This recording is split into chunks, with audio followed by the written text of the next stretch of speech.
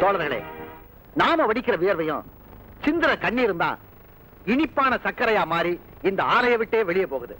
ஆனா நமக்கு தேவையான அடிப்படை உரிமைகள் எதுவும் வழங்கப்படல. வசதிகள் எதுவும் செஞ்சு கொடுக்கப்படல. இந்த ஃபேக்டரியில் இருக்க மிஷினை கூட நம்ம முதலாளி ரொம்ப அக்கறையா பராமரிக்கிறாரு. ஆனா மனுஷங்களாகிய உங்களை புழுவை விட கேவலமா நடத்துறாரு. இந்த நிலைமை மாறணுமா வேண்டாமா? சொல்லுங்க. அதெல்லாம் சரிதாங்க. அதுக்காக நாம என்ன செய்ய முடியும்? நீங்க மனசு வச்சா நிச்சயமா முடியும். நம்ம உரிமைகளை தட்டி கேட்க நமக்கு அவசியம் ஒரு சங்கம் தேவை. இப்ப சங்கம் வைக்க சொல்லுவீங்க நாளைக்கு ஸ்ட்ரைக் பண்ண சொல்லுவீங்க முதலாளி மில்ல எடுத்து மூடிடுவாரு. இப்ப கிடைக்கிற கால்வை தகுதியும் கிடைக்காம போயிடும். அப்புறம் எங்க புள்ள குட்டிங்க நிலைமை என்ன ஆகுறது? ஆரம்பத்துல இப்படி எல்லாம் கஷ்டங்கள் வரத்தான் வரும். அதையெல்லாம் பொறுத்துக்கிட்டு ஒத்துமையா போராடினா இறுதி வெற்றி நமக்கு தான் சேகர் சொல்றது சரிதாயா எத்தனை நாளைக்கு தான் நாம இப்படி பயந்து பயந்து வாழ்றது?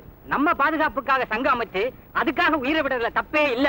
அப்படி ஒரு நிலைமை ஏற்பட்டா தொண்டர்களை பலி கொடுத்துட்டு தன்னை காப்பாத்திக்கிற தலைவனா நிச்சயமா இருக்க மாட்டேன். என் உயிரை பலி கொடுக்கிற தொண்டனாத்தான் நான் இருப்பேன். ஆமா முடிவெடுக்க. இதுதான் சரியான நேரம். ஆமா. சங்கம் அமைச்சே தீர்வோம். சங்கம் அமைப்போம். தொழிலாளர்கள் ஒற்றுமை. தொழிலாளர்கள் ஒற்றுமை. இந்த ஆண்டு நம்ம பள்ளிக்கூடத்தோட வெள்ளி விழா ஆண்டு. இந்த ஆண்டு விழாவை ரொம்ப சிறப்பா கொண்டாடணும்னு நான் முடிவு பண்ணிருக்கிறேன் அதுல என்னென்ன செய்யலாம்? எப்படி எல்லாம் செய்யலாம்னு நீங்க யோசனை சொல்லுங்க. புதுசா ஏதாவது பண்ணணுங்க. இத பாருங்க. ஆளுக்கு ஒரு பொறுப்பை எடுத்துக்கிட்டு சிறப்பா செய்யணும். டான்ஸ் மாஸ்டருங்கிற முறையில கலை நிகழ்ச்சிக்கு நான் பொறுப்பேத்துக்கிறேன். உலகத்தில் உள்ள டான்ஸர் எல்லாம் கூட்டு வந்து அசத்திடுறேன். ஏப்பா உனக்கு உள்ளூர் டான்ஸே ஒழுங்கா வரல. ஏன் சிரிக்கிறீங்க? உங்களுக்கு டான்ஸ் தெரியுமா? எல்லாரும் சிரிச்சாங்க கொஞ்சம் சிரிச்சேன். சும்மா இருங்க. கலை நிகழ்ச்சி நடத்துற பொறுப்பை நான் எடுத்துக்கிறேன். சரி நம்ம வெள்ளி விழா நிகழ்ச்சிக்கு கல்வி அமைச்சர் தலைமை தாங்கிறதா சம்மதம் கொடுத்திருக்காரு அத பத்தி ஒரு முக்கியமான விஷயம் உங்ககிட்ட பேசணும். நம்ம பள்ளிக்கூடத்தை சுத்தி ஒரு ஐநூறு ஏக்கர் நிலம் புறம்போக்கு நிலம் தரிசா கிடக்கு. அத ஆளுக்கு கொஞ்சம் பிரிச்சுக்கலாமே. சு, பேசாம ஏற்கனவே சொல்லியிருக்கிறேன். அந்த ஐநூறு ஏக்கர் நிலத்தை நம்ம பள்ளிக்கூடத்துக்கு கல்வி அமைச்சர் மூலமா நன்கொடையா வாங்கணும். அதுக்கு நம்ம சுந்தர வாத்தியார் தான் உதவி பண்ணணும். ஏன்னா இவரோட பழைய மாணவர் தான் அவரு. அவருக்கு இவர் பேர்ல அன்பு மரியாதை எல்லாம் இருக்கு. அதனால நீங்க எல்லாம் அவர்கிட்ட சொல்லி அந்த நிலத்தை வாங்குறதுக்கு முயற்சி பண்ணணும்னு கேட்டுக்கிறேன். எதுக்காக அந்த நிலத்தை நான் கூட வாங்கணும்? பள்ளிக்கூடத்தை விஸ்தரிக்கத்தான். ஏற்கனவே நம்ம பள்ளிக்கூடத்துக்கு சொந்தமா இருக்கிற நிலத்துல நாலு காலேஜ் கட்டலாம். இந்த நிலம் நமக்கு தேவையில்லை. பள்ளிக்கூடத்துக்கு தேவையில்லாம இருக்கலாம். ஆனா நமக்கு தேவையாச்சே. நீர் உயர நெல் உயரும் நெல் உயர நாம உயருவோம் நாம உயர நாடு உயரும். நாம நல்லா இருந்தா தானே நாடு நல்லா இருக்கும். நிலத்தை வாங்கினதுக்கு அப்புறம் ஆளுக்கு பத்து பத்து ஏக்கர் பிரிச்சுக்குவோம். நீங்க பதினஞ்சு ஏக்கர் வச்சுக்கோங்க. ஏன்னா கல்வி அமைச்சர் உங்களுக்கு பழைய மாணவராச்சே. இதுக்கு நான் சம்மதிக்க முடியாது. முடியாது? நிச்சயமா முடியாது. நீ தானே கேட்க சொன்ன. நீ உறவாங்க நீ. சோடா புட்டி. கலை நிகழ்ச்சி நடத்துற பொறுப்பை நான் ஏத்துக்கிட்டேன். நிகழ்ச்சி நல்லா இருக்கணும். இசை நாட்டிய நிகழ்ச்சி நடத்தலாம்னு இருக்கேன். எதை நடத்தலாம்? அம்பிகாவது எவனாவது நடத்தலாம் சார்? சார் அது வேணா சார். லைலா மஜித் நடத்தலாம் சார். நல்லா இருக்கும் சார். கண்ணகி கோலம் நடத்தலாம் சார். சார் சாகுந்தலம் நடத்தலாம் சார். சாகுந்தலம். நல்லா இருக்கும். சகுந்தலையா நடிக்கிற பொண்ணுக்கு பாட தெரிஞ்சிருக்கணும். தேவகி இருக்கா? Sir, sir. ஏ, சுமாரு? துஷ்டந்தனை யார் போடுறது?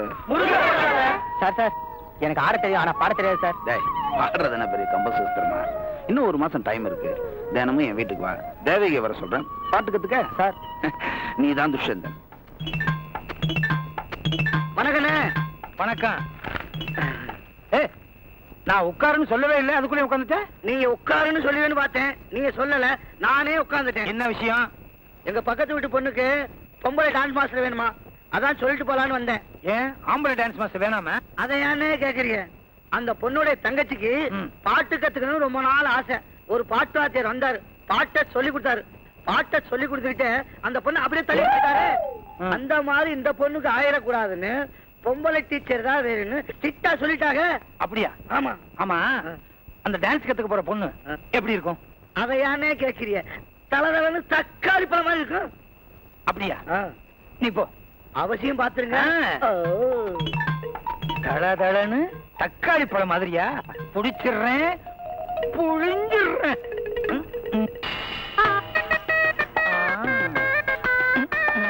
சார். சார். சார். என்ன சார்னா சார் வந்து நிக்குது? யாரு மணி தத்தகிட்ட திகிட்ட கிட்ட தத்தகிட்ட திகிட்ட கிட்ட தத்.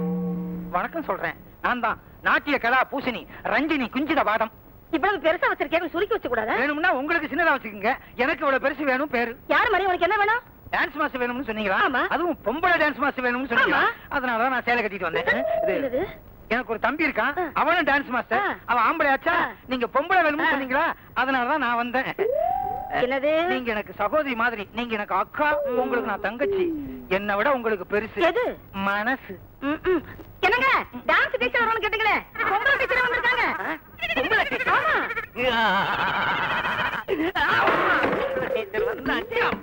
என்னங்க? எந்திரிங்க. எந்திரிங்க எந்திரிங்க. இவங்க டான்ஸ் மாஸ்டர் இவர் என் புருஷன். வணக்கம். வணக்கம். இவர் எங்க பாக்குறாரு? உங்களை பாக்குறாரு. அங்க பாக்குறாரு?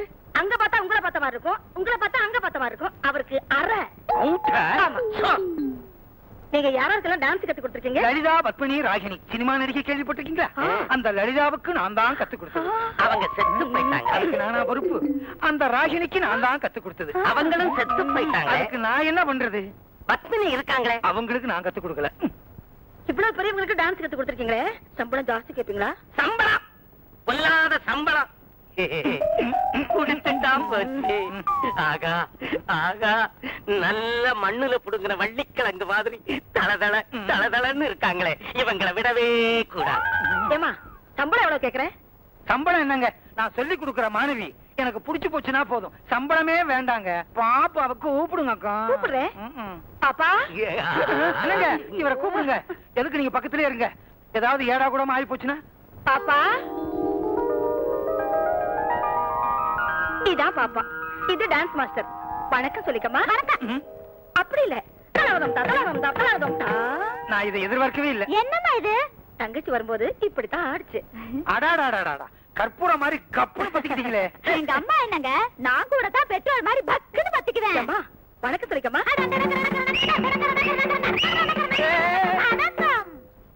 எல்லாம் சாவு ஊரத்துக்கு போற ஆளுங்களா இந்தா சொல்லி கொடுக்கறதுக்கு தான் நீங்க வந்திருக்கீங்களே கரெக்ட் அப்போ எப்ப ஆரம்பிக்கலாம்? அடுத்த வாரம் வெள்ளிக்கிழமை நல்ல நாள். அன்னைக்கு ஆரம்பிக்கலாம். இந்தா ஒரு வாரம் வரைக்கும் காத்துக்கிட்டு இல்லையா? இருக்கணும் நல்ல காரியத்தை ஒத்தி போடவே கூடாது நீ. இன்னைக்கு இப்பவே ஆரம்பிச்சிடணும். மாஸ்டர் நீங்க ரூமுக்கு கூட்டிட்டு போங்க. ஏன்னா அப்ப அவனே ஏற்பாடு பண்ணி கொடுக்குறான்.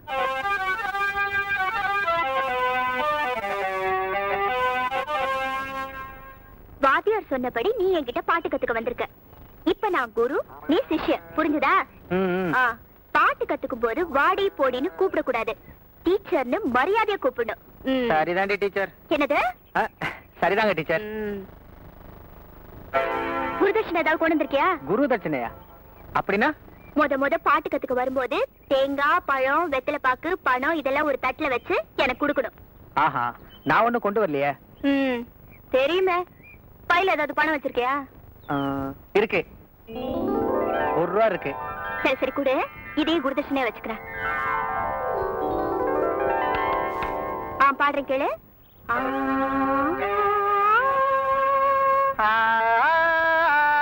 ஐயோ குரலா இது? இத வச்சுட்டு எப்படி பாட போற? நான் சமாளிச்சிருவேன். கிழிச்ச. நீ என்ன பண்ற? விடிய கால நேரத்துல கழுத்தளவு தண்ணியில நின்னுக்கிட்டு தினமும் சாதகம் பண்ணணும் அப்பதான் உனக்கு பாட்டு வரும். சரிதான் போடி. அதெல்லாம் என்னால முடியாது. என்னது? போடியா? இப்ப நான் குருடா? பெரிய குரு. ஆலட்டிக்காத அப்படியா? சார்! ஐயோ வேணா டீச்சர் வேணா டீச்சர். நீங்க சொன்ன மாதிரியே நான் கேட்கறேன் டீச்சர்.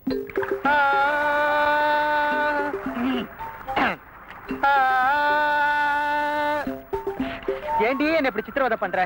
வெட வெடக்கிற குளூர்ல ஐஸ் மாதிரி இருக்கிற இந்த தண்ணியில என்னை நிக்க வச்சுட்டேடி பின்ன பாட்டு கத்துக்கிறதுனா சும்மாவா? கஷ்டப்பட்டு தான் கத்துக்கணும். இப்படி எல்லாம் கஷ்டப்பட்டு என்னால பாட்டு கத்துக்க முடியாது. குளூர்ல உடம்பெல்லாம் விரைச்சு போச்சு. நான் கரைக்கு வந்துடுறேன். வந்துடுவியா நீ? வந்தா என்னடி செய்வேன் வாத்தியார் கிட்ட சொல்லிடுவேன். ஐயோ வாத்தியாட்ட மட்டும் சொல்லிடாதடி. எவ்வளவு நேரம் வேணாலும் நான் தண்ணிக்குள்ளே நிக்கிறேன். அப்ப அரை மணி நேரம் அங்கேயே நின்னு சாதகம் பண்ணிட்டு வா.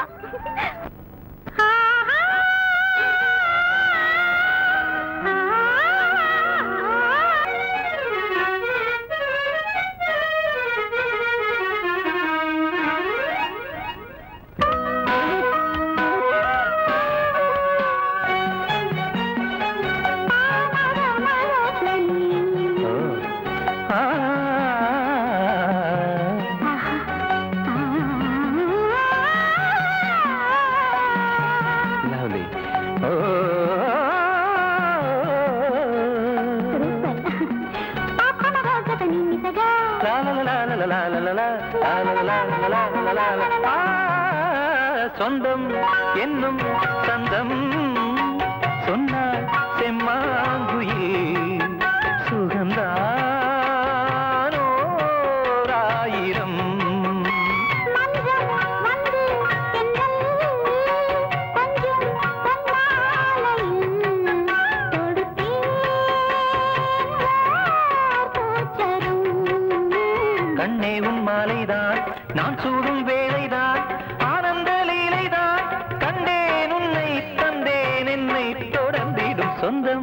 என்னும்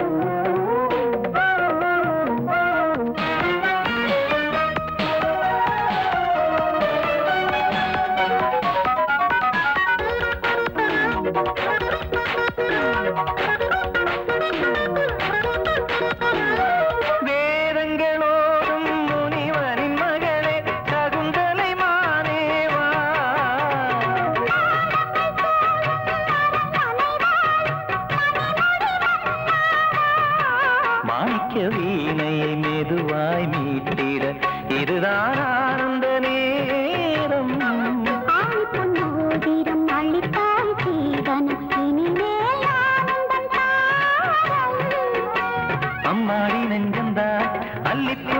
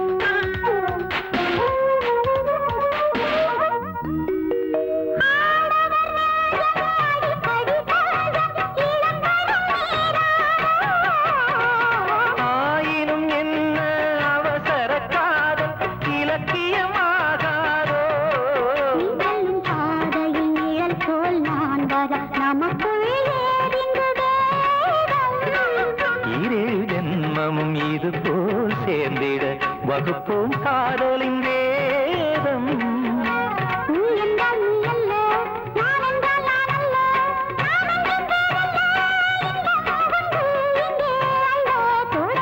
சொந்தம் என்னும் சந்தம். சொன்னா